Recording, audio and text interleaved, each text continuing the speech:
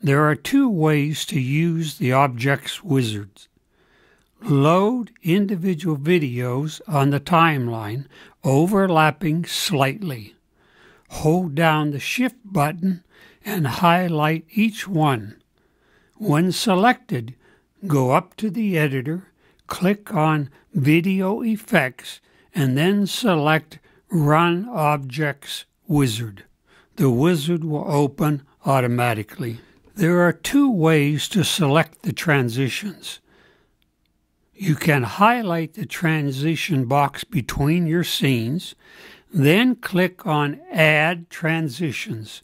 Select the transition you want from the menu above and double click on your choice, and it will automatically appear between your scenes. Or select and drag your choice to the next transition box.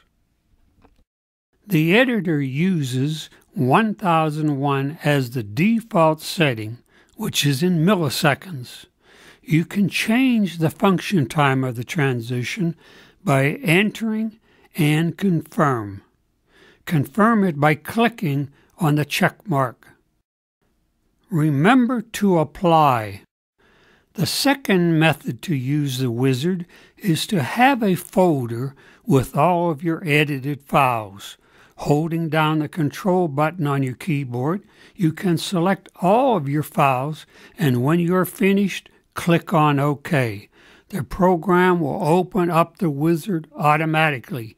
You can change the sequence of your scenes by dragging them into the proper sequence.